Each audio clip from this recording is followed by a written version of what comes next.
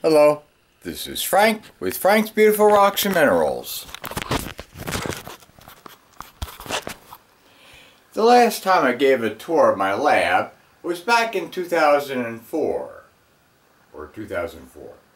It's now 2018 and there have been many updates.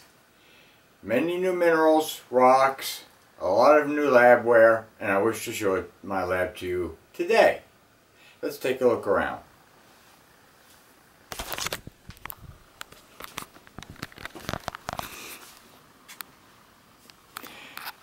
My grandfather worked on the Manhattan Project in Bloomfield for Westinghouse, doing research on the atomic and thermonuclear bombs, so he made a good salary and bought a small mansion, the basement of which is my business. And you see coming down the stairs posters and stratigraphy and topographic maps of the Adirondack Mountains where I've been.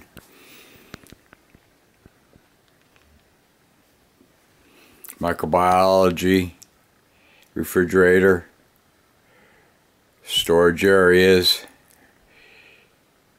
down in uh, southern New Jersey prospecting a lot of micaceous specimens and Sterling Hill Mine. Excuse me a, a, quite a variety of minerals a lot of amethyst prehnite wardite calcite of trigonometric form because it is a polymorphic mineral gray calcite a little unusual And you to walk. I have new containers for minerals and specimens from Brazil.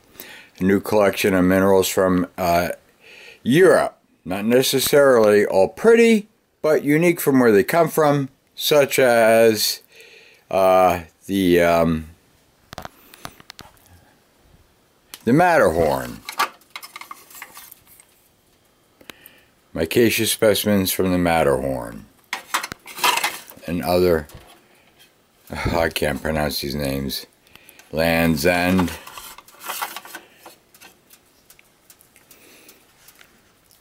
Various specimens. All for sale. And in this cabinet I got that somebody threw away and I painted white because if you notice, unlike labs, I have black lab benches. I built my old lab benches and I built my fume hood and I painted them all white to make the basement bright and cheery. And sterile looking, clean. And here we see thousands of dollars, thousands and thousands of dollars of uh, obsidian pile.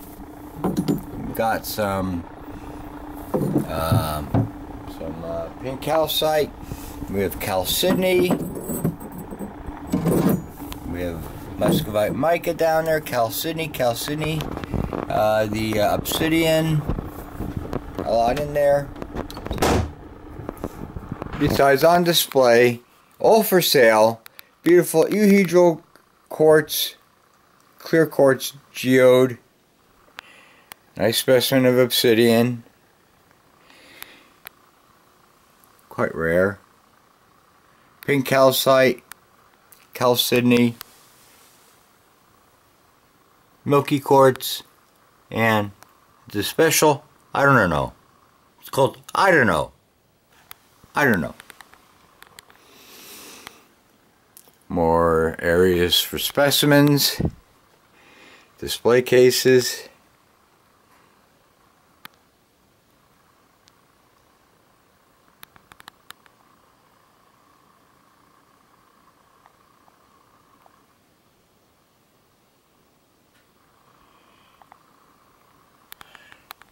Nice, large, nice. You've seen this before. My collections of precious minerals, emeralds, peridots or peridots, either way is fine, aragonite, scolecite, epidote, sphalerite, hematite, apophyllite, vanadinite, barite, obsidian, galena, and then down here other minerals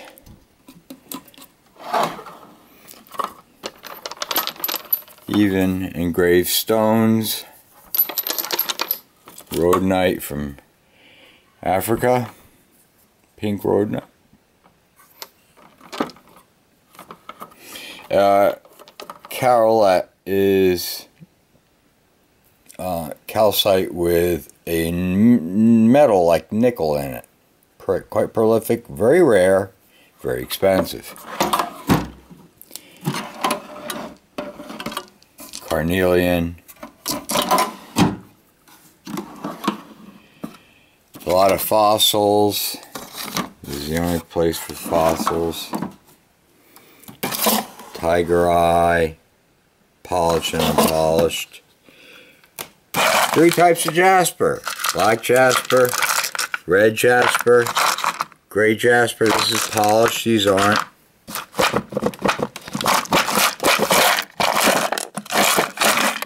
don't even fit my drawers anymore. Magnetine. Look how magnetic. That's synthetic. Quartz. And here's your typical hematite, which they can't open. Calcite rhombohedrals.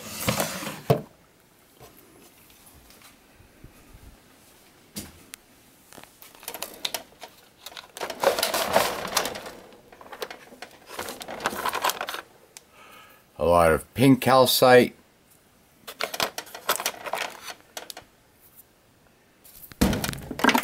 which we drop and lose.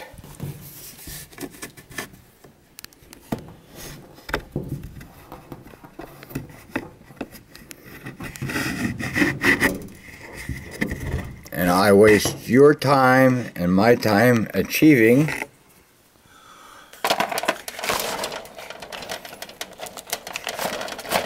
It won't shut. Oh, by the way, my sole proprietorship information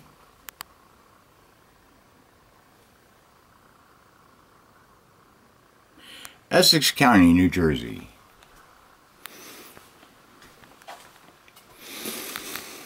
More minerals. A new shelf. Here's uh, pink calcite. This is perfect crystal form clear quartz, not carved by lapidary. Pure crystals. These are carved and polished by lapidary.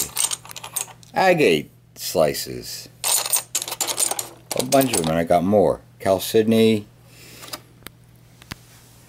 Biotite mica schist, very, very shiny. Fuchsite mica, muscovite mica, and biotite mica. There you go. More on the bottom. Collection. My books from college courses on the internet that I audited. More books on rocks, minerals, earth, geology. And these two books are very important. These have the uh, diagnostic charts, which you can't find in full on the internet. Uh, you do physical properties on minerals. And I'll show that to you in a minute. More specimens ultraviolet franklinite and ultraviolet calcite. UVC and UVA lamps, ultraviolet. Mineral identification bench. And we measure radiation, ultraviolet radiation with Geiger counters, hardness, specific gravity, magnetism, back there's a magnet, uh, and most of all, and this is where people fall short for obvious reasons, a $2,500 petrographic microscope that will give you the optical properties and identify a specimen with a computer program subscription on the internet to within one or a few specimens. And then you can guess which one it is. And if you guess that it is the most common mineral, you're probably right. They're very diagnostic, more diagnostic than um, X-ray crystallography, more diagnostic than inductively coupled plasma, spark atomic emission spectrometry, atomic absorption. These tell you what elements are in a mineral, not what the mineral whole molecule formula is, but you can discern that from the optical properties and the, the computer program. Uh, over a thousand dollar um, uh, to the uh, point five zeros sensitive top loading balance. Top loading balance for the UV bench. Top loading balance for the chemical limnology bench. This is where I do environmental pollution testing of water drinking water soils air samples uh, contaminants in air and pollution in air how dusty air is and then how polluted it is. And also uh, a full set I do all tests on pool water only five dollars. You don't have to do that yourself. I have the full lab and I run my lab according to OSHA standards Department of Environmental Protection in Pennsylvania um, the EPA uh, ISO. I used to be a uh, chemical limnologist or environmental testing chemist. All environmental laboratories have standard methods for the examination of water and wastewater. All these, this is an older book, new books cost $454, contain the procedures for changing, uh, for uh, cyanogen chloride, we can dissociable cyanide. I used to do purity hydrochloric acid, uh, pink uh, Fourier transform infrared spectroscopy analysis procedures to identify cyanides, any cyanides. Uh, microbiology is in here. Uh, all, all kinds of chemical tests for everything.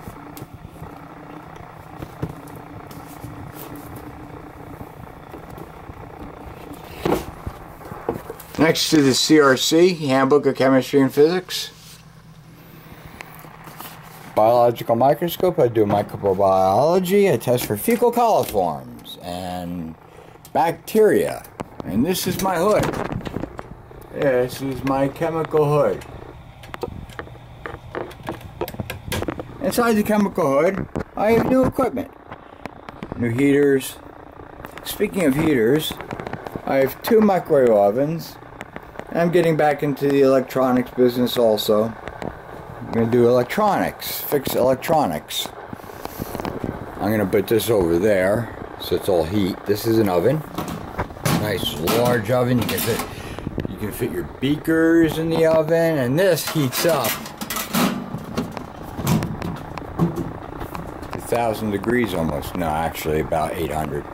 It's a very hot oven not your typical 500 kitchen oven. Uh, soil tests for nutrients, phosphor phosphate, nit nitrogen, uh, potash, uh, pH, test kits. I have thermometers, all kinds, pipettes, micropipettes. These are uh, um, Pasteur pipettes. Uh, solutions, dyes for microorganisms, air tests, pipettes, my own DI water. And when I run out, I got plenty more. Nice shelf. Here, here's my pulse kit. Five-way test kit. Where do they test in here? Chloride, bromide, bromine, uh, pH, acid demand, and total alkalinity. Just $5 for all. $5 for all. Free shipping of. You send me your sample, and I. Laboratory tubing for my organic glassware. Containers. I like this guy. I picked them up at a yard sale a dental table. This is just for the laboratory. Keep, keep the table nice order.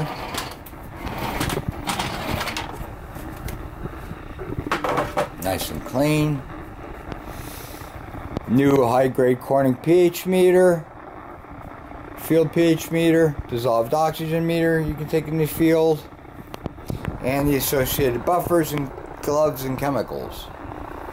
Coming this way of the bench. See heating mantles, test tubes. Here's my radioactive specimens that I sell. I sell radioactive rocks and minerals that I've collected and uh, depleted uranium mines. Where they mined for uranium, uranium oxide. Um,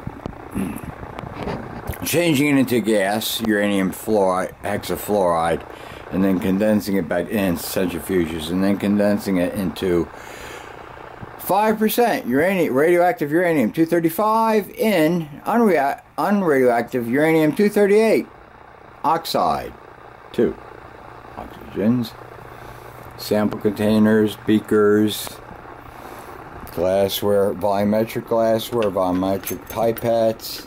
I uh, have my, for a fee, have my, uh, sometimes I do this, elements measured at Montclair State University's chemistry department, where they have ICP, uh, all kinds of spectrophotometers, um, spark atomic emission spectrometry, uh, inductively coupled plasma, optically stimulated luminescence, as well as mass spec, GC mass spec, HPLC, but that's for organics.